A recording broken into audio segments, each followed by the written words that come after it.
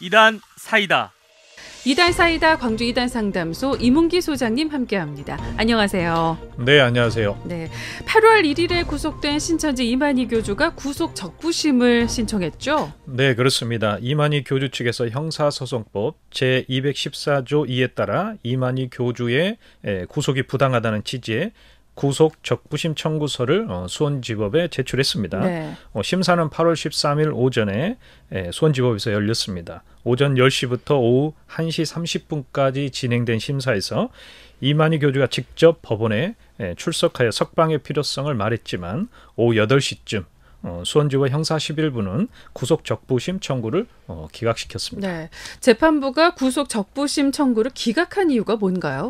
범죄 사실의 소명 정도, 수사 진행 상황, 어, 건강 상태 등을 종합적으로 고려하면 구속영장 발부가 어, 부적법하다거나 구속 어, 계속의 필요성 등이 어, 인정되지 않을 정도의 사정 변경이 생겼다고 보이지 않는다고 어, 결정 이유를 음. 설명했습니다. 네, 일단 구속 적부심은 언제 신청하는 건지 조금 짚고 넘어갈까요? 어, 수사기관으로부터 구속을 당했을 때 국민 누구나 관할법원에 청구할 수 있습니다. 네. 어, 피의자의 구속이 과연 정당한지를 법원이 다시 판단해 달라는 그런 어, 요청 절차입니다. 네. 어, 피의자의 인권과 권리의 부당한 침해를 막기에 시행되고 있는 제도입니다. 어, 신청 자격은 구속 피의자 본인, 변호인, 법정 대리인, 배우자, 직계, 친족, 형제, 자매 등이 예, 할수 있습니다. 적부심이 신청되면 법원은 구속된 피의자를 신문하고 변호사, 검사, 적부심 청구자의 진술도 경청하게 됩니다. 네. 법원은 신문이 끝나면 24시간 이내에 구속된 피의자의 석방 여부를 결정하게 됩니다. 적부심이 받아들여져 피의자가 풀려났다고 해도 어, 무죄인 것은 아니며 어, 불구속 상태에서 재판을 음. 계속 받게 됩니다. 네. 검찰은 이만희 교주 구속 적부심 청구가 기각된 다음 날 기소를 했던데요.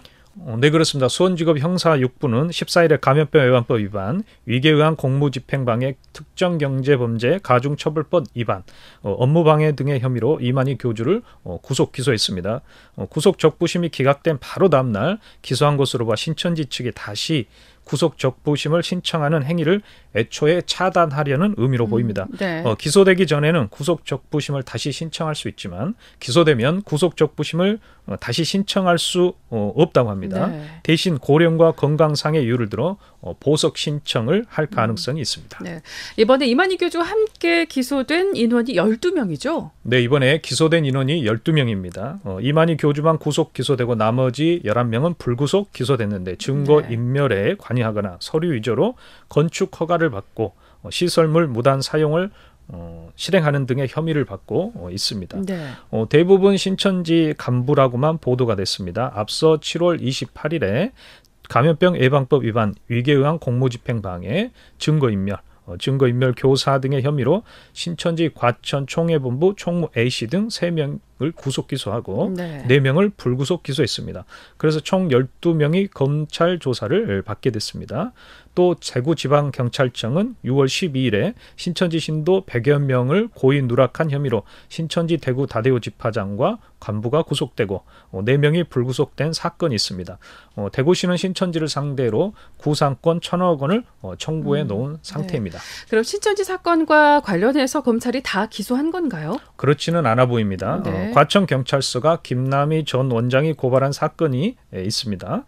어, 이만희 교주와 신천지 신도들이 헌금 32억을 이만희 교주 부인 유모 씨 계좌 48개로 관리한 혐의를 물어 검찰에 기소 의견으로 송치를 했습니다. 네. 여기에 광주 베드로 지파와 대전 마띠아 지파와 관련한 건축 문제로 검찰에 고발된 사건이 있기 때문에 이 부분도 수사가 진행된다면 추가 기소될 가능성이 있습니다. 음. 그리고 국세청에서 세무조사를 했기 때문에 앞서 기소된 사건과 관련이 없다면 어, 검찰의 고발이 이루어질 가능성도 어, 네. 배제할 수 없습니다. 네. 신 천지 이만희 교주와 간부들이 구속된 사건으로 인해서 신천지 반격이 있지 않습니까? 어, 네 그렇습니다. 신천지 간부들이 양공 작전을 펴고 있는데 강성파를 결집시키기 위해서 어, 코로나19의 책임이 정부에 있다는 식의 예, 선전을 하고 있습니다. 네. 어, 신천지는 7월 26일 신도들에게 보낸 공지 사항에서 우리나라에 바이러스가 퍼진 것은 일차적으로 중국인 입국을 막지 못한 것에서 전 국가적으로 코로나가 퍼지게 됐다고 어, 주장을 합니다. 네. 그러면서 추미애 법무부 장관 탄핵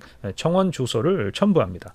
그리고 7월 20일에는 광주 베드로 지파 이모 교육부장이 추미애 장관 탄핵에 동참하라는 영상이 에, 공개된 적도 있습니다. 네. 어, 다른 한편으로는 이만희 교주 구속 사건과 관련해서 구속 영장 발부가 어, 유죄 판결을 의미하는 것은 아니다. 네, 어, 네. 향후 재판에서 진실을 분명하게 밝히도록 하겠다고 말함으로써 그 신천지 신도들을 어, 이탈 어, 음. 이런 부분을 막기에 예, 다독이는 모습을 보이고 있습니다. 네.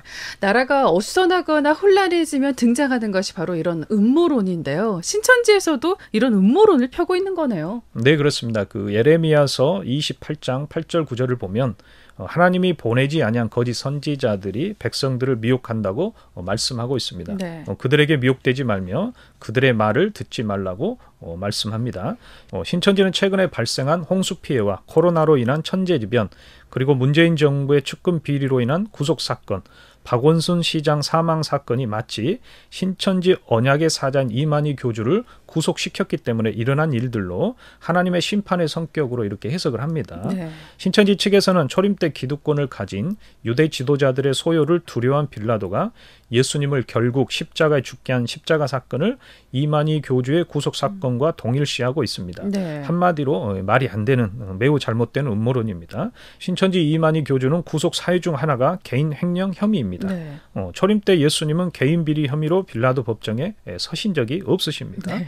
예수님의 십자가 사건과 이만희 교주의 구속 사유와는 에, 천지 차이입니다. 엄연히 다른 거고요. 들어볼 가치도 없는 황당한 에, 주장입니다. 네, 그렇습니다. 신천지 수장인 이만희 교주가 구속된 이 시점에서 신천지 측 앞으로 향방이 어떻게 될 걸로 보시나요? 어, 신천지 이만희 교주의 구속은 신천지 신도들에게는 매우 큰 어, 충격입니다. 네. 정확한 통계를 산정할 수는 없지만 신천지 신도들의 이탈은 계속 진행 중입니다. 네. 어, 신천지 간부들의 추가 이탈이 있을 것으로 보입니다. 이만희 교주의 재판 과정에서 유죄가 확정되고 검찰 수사에서 어, 비리가 더 발견된다면 더 많은 숫자가 이탈할 것으로 이렇게 음. 네. 보입니다. 그래도 이만희 교주 구속 이후에 이 신천지 신도들의 이탈이 가속화되고 있지는 않은 것 같은데 이거는 왜 그런 걸까요? 어, 신천지 그 간부들과 강성 신도들이 사건의 본질을 제대로 보지 못하도록 그 호도하고 있기 네, 때문입니다. 네. 그 신천지 신도가 페이스북에 올린 것으로 보이는 글을 보면 어, 우리가 이걸 알 수가 있습니다. 네. 죄와 벌이라는 제목으로 되어 있는 글입니다. 네, 죄와 벌 어떤 내용인가요? 어, 40년간 자식들이 준 용돈을 아껴 모아두었는데 비자금 조성죄로 구속되었다는 이런 취지의 글입니다. 네. 어, 용돈을 아껴두고 자식들이 애써서 번 피 같은 돈이라고 생각을 해서 쓰지 않고 어, 모아두었다는 겁니다. 금검 전략한 것이 도리어 어, 비자금 조성했다는 죄로 어, 올무가 구속 사유가 됐다고 하면서 정부와 법원을 원망하는 형태의 이런 글입니다. 네. 어, 신천지 신도의 글이 맞다면 신천지 신도들은 정확한 사실을 어, 모르고 있다는 겁니다. 네. 신천지 신도들이 준 돈을 어, 피 같은 돈이라고 여기고 쓰지 않았다고 하는데 이만희 교주가 해외 나갈 때 수백만 원에서 많게는 천만 원이 넘는 비행기 1등석을 타고 다닙니다. 네네. 그리고 비싼 호텔에서 숙박을 하고 어, 식사를 한다는 게 에, 이게 사실로 알려져 있습니다. 어, 신천지 신도들의 돈을 피같이 여긴다면 어, 이만희 교주는 비행기 1등석 비싼 호텔에서 숙박하고 식사를 안 할 겁니다. 네. 그리고 이만희 교주가 주장하는 용돈 32억 원의 돈의 관리 성격인데요.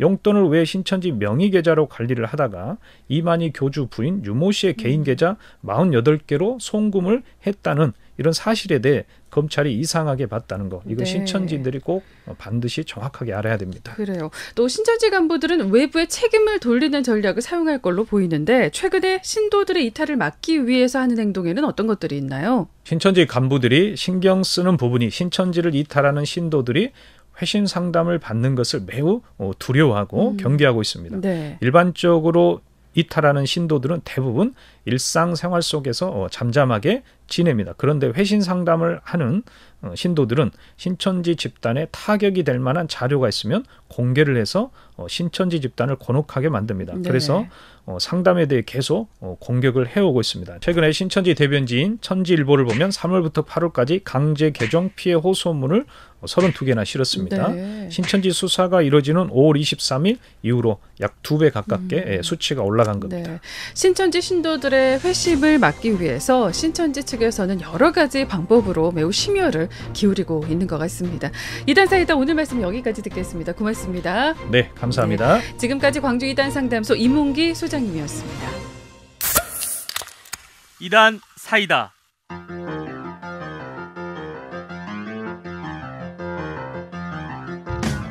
광주 CBS는 이단의 피해로부터 성도들을 지키기 위해 한국교회와 함께하고 있습니다. 매주 목요일 찬야의 꽃다발 2부 이단 사이다 코너를 통해 이단 전문가와 함께 이단에 대한 실체를 시원하게 알려드립니다. 이단에 대한 궁금증이 있으신 분들은 문자나 인터넷 홈페이지를 통해 문의해 주시면 이단 전문가를 연결해 드리거나 그 궁금증을 해결해 드립니다. 이단 사이다 다음 주 목요일 이 시간에 계속 함께 할게요.